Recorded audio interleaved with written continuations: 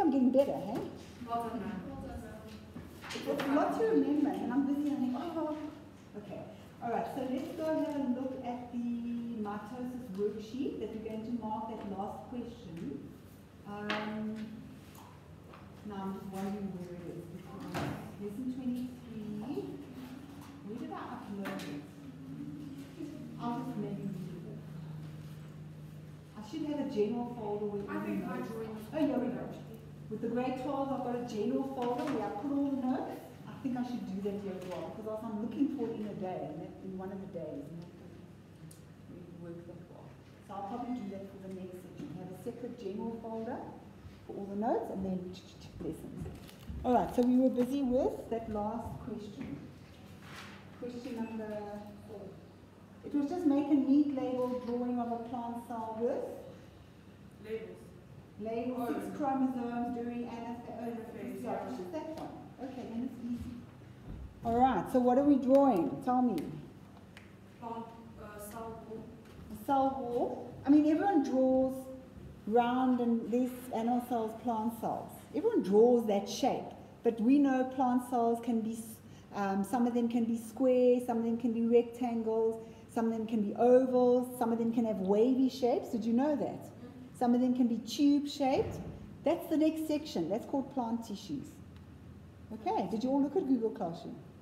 Yes. I invited you to be bot- botanists for a little bit. Where's everyone? Yeah? We're here, ma'am. All right. So there's a plant cell. Okay. So it says I must draw it at anaphase of mitosis. So what am I going to draw? Hello, Hannah, and everybody else. What am I going to draw? We're doing question four of the worksheet. Centrioles.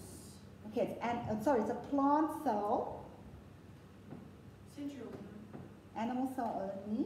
Oh, fudge. Okay. No, I didn't know. So much we draw like a little star thing. I thought there was a central and plant plant cell as well. Yeah, no, Because it's just, you it's just it's explained called an it- aster.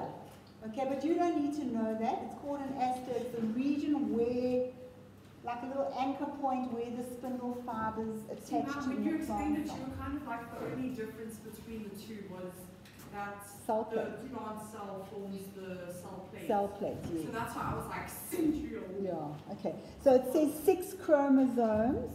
So what must I draw? It's anaphase. How many little V's do I draw going to the top? Six.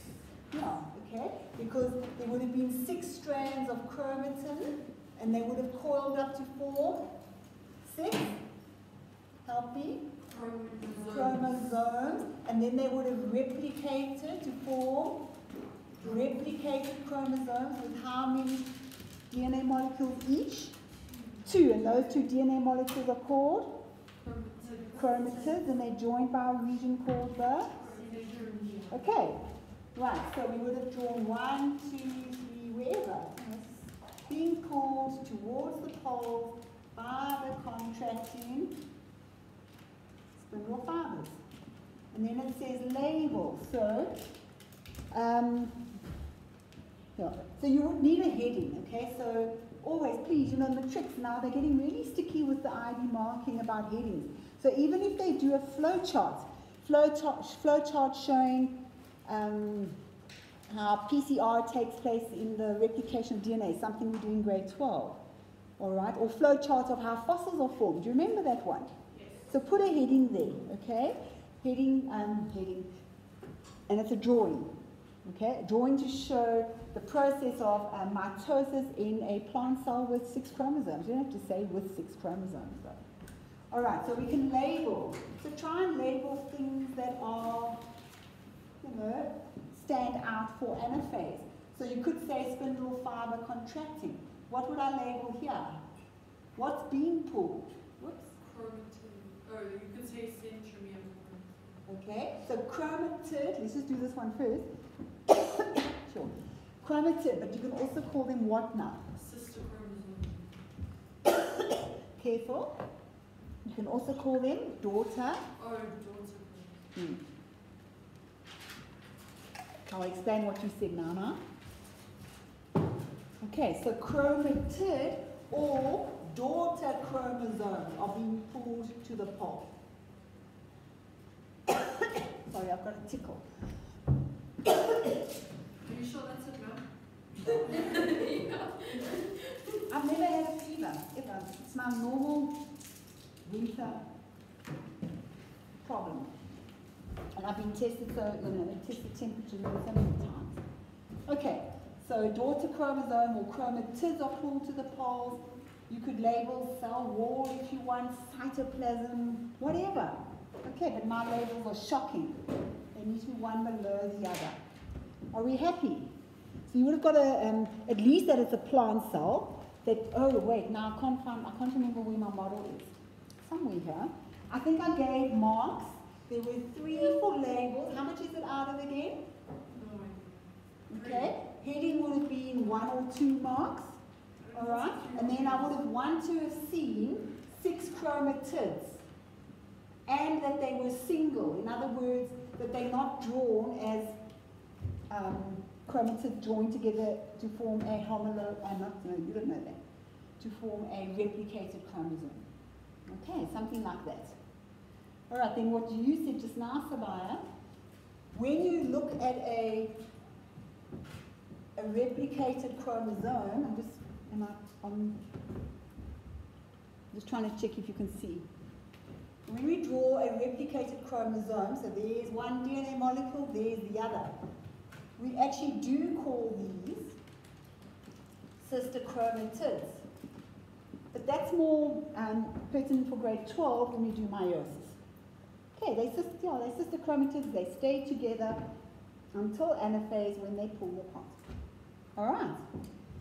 Okay, so now, what else did I say here? Let's have a look. Classwork. Okay, that's grade 12. Um, let's go back. We've got another one open here. Okay, you speak Arifa? Friday.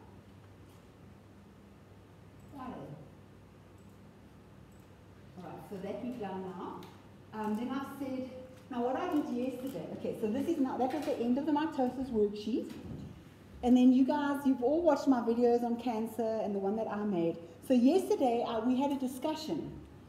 So can I show you the video that I made of discussing with the class? Or do you want to have your own? Because there's going to be things there that I won't remember to say, but we can stop it along the way. All right. But there's one on, there's another video from YouTube that I want to show you first. All right. So people at home, um, the video, let's just check here. They are uploaded onto Google Classroom. All right. So grade one. That's the lesson I had with choice one. And it's quite a long video. It's 55 minutes. And I'm going to show you this one first. Uh, breast cancer treatment. Just because they mention all the different things that we've been taught, well, that you saw when you watched the videos. And then they've got Mr. Anderson. And he talks really fast. And he talks about the new treatments and that of cancer. And it's quite an old one because there's, there's progressive changes. They, you know, new research into cancer treatment. All right, so people at home, I'm going to first play this one. And then the one from yesterday when I was discussing with choice one. A is that a that kills itself?